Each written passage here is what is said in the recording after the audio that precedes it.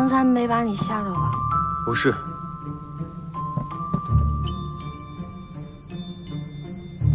你说你都看不到，整日来书房做什么呀？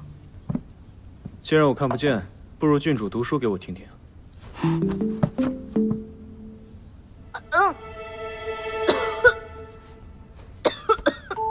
怎么了？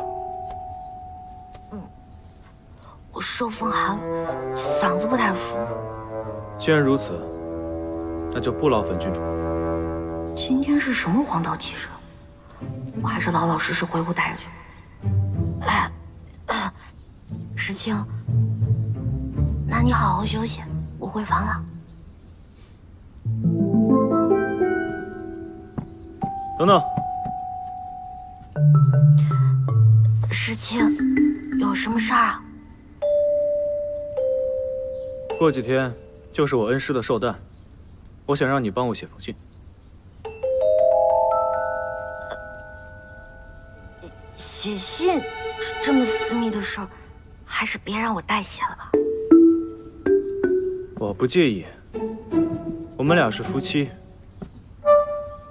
还有谁比我们更亲近呢？谁跟你亲近？莫非郡主不会写字啊？开什么玩笑！我我。郡主怎么可能不会写字呢？我当然会写了，写就写，反正你也看不见。来吧，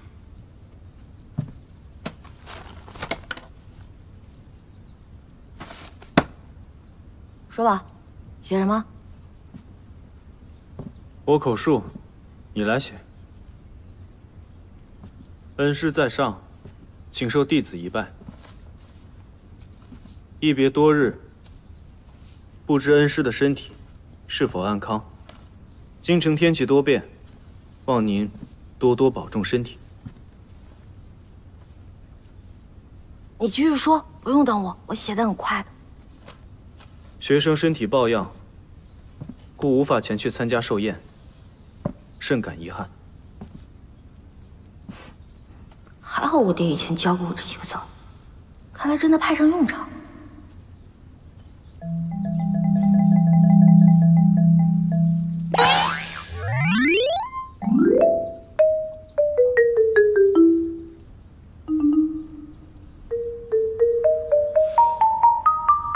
大事不好了，乔云，大事不好了！怎么了？梅三少刚刚让我写一封信。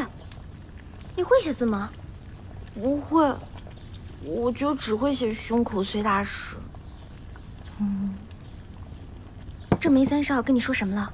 谢谢恩师，然后谢谢恩师，让他注意身体，注意身体。谢师宴去不了了，谢师宴去不了了。嗯，注意身体。郡主，小阮，你来干嘛呀？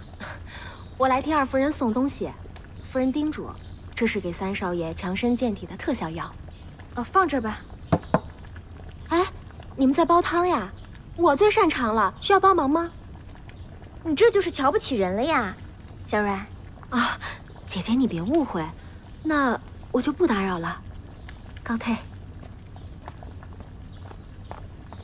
你你快去写一封信，把我写那封替换掉。他要是寄出去，麻烦了。行，那你帮我看着这碗汤，我马上回来啊。好，好，好。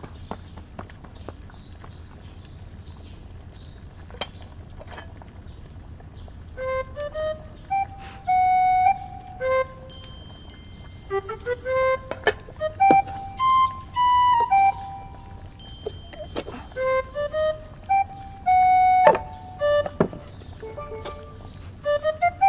么深奥的布匹，便宜这小子，多给他补补吧。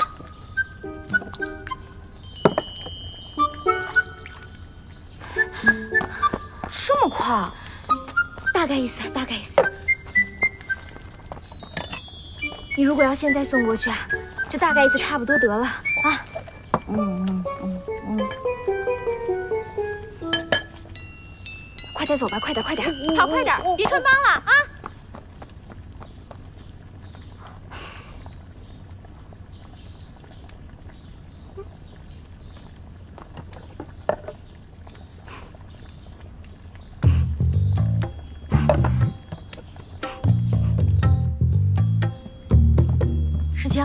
这是我亲自为你煲的汤，尝尝啊。